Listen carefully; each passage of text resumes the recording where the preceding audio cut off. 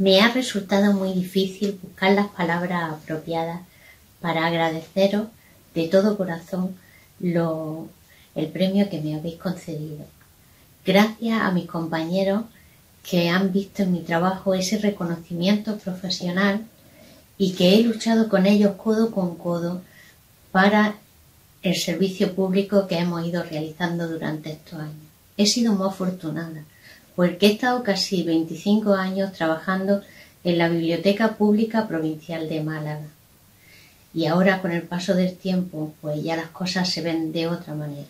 Lo que sí es cierto es que está en una de las mejores instituciones, ya que a coste cero se ofrece información, ocio y cultura.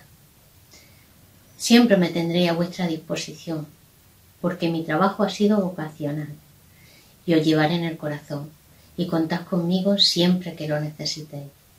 Y nada, un fuerte abrazo a todos mis compañeros y gracias.